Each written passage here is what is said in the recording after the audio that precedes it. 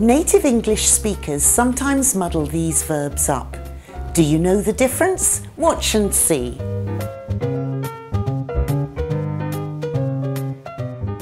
Um, so how old are you, Vicki? I'm, um, 32. Really? Lie has two meanings. If we lie, we don't tell the truth.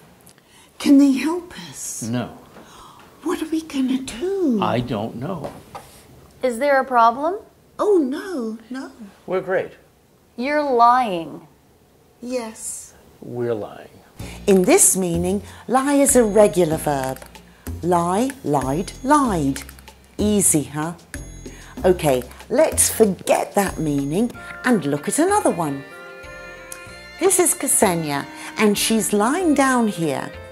She's in a horizontal or resting position. This meaning is similar to the verb lay, but when we lay something, we put it down. Now, here Ksenia is laying down Carter's toys, placing them on the floor.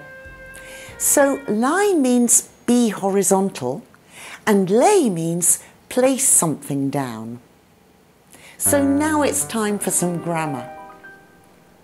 Are you okay? No, I've got a headache. Why don't you go and lie down? Lie is an intransitive verb and it has no object. We can lie on something, we can lie in something, we can lie under something, but we can't lie something.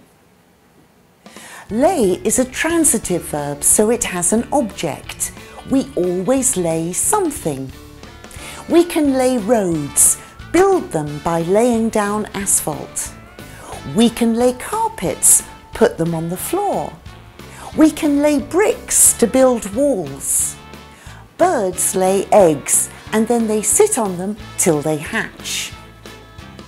In British English, we lay the table. Oh, you've laid the table. Thank you. In America, we say set the table. We can say that in British English too. Hey, stop that man!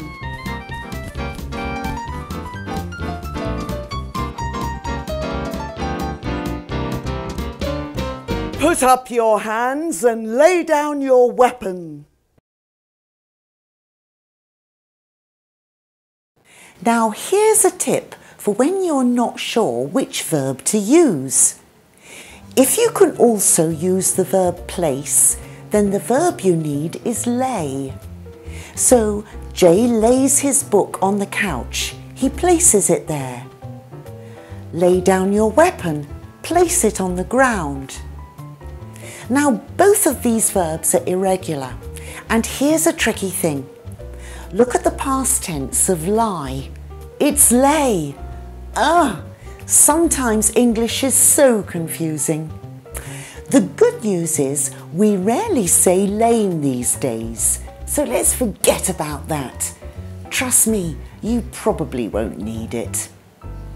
Let's start with lie and we'll look at these two verb forms first. I'm tired. I think I'll go and lie down. I didn't sleep at all last night. Really? I lay awake all night. I thought I heard you snoring. Not me. It must have been Carter. So lie means be horizontal here, be in a resting position, and the past form is lay. Now let's look at two verb forms of lay. Has the mail come? Yes, I laid it on your desk. Thank you.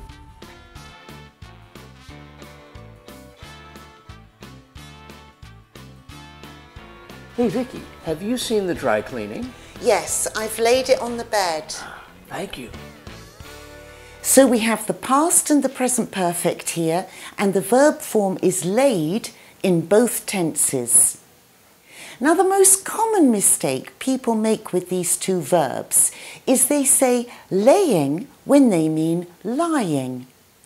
If something is just sitting somewhere, use the verb lie. Here are some examples.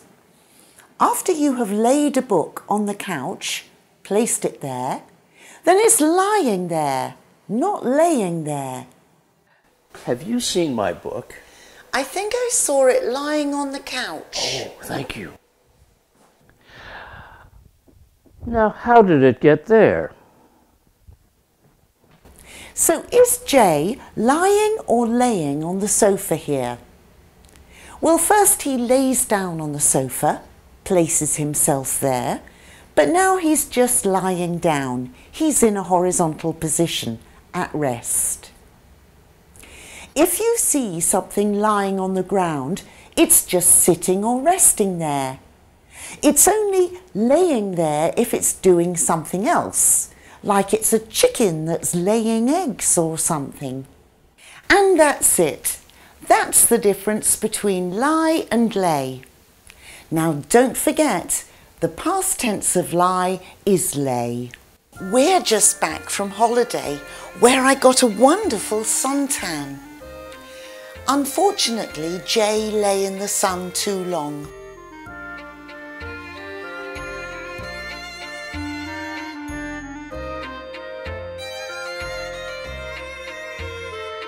Subscribe to our channel to see more of our videos. And if your organization needs specialized English language training, we make videos for that too. So get in touch if we can help.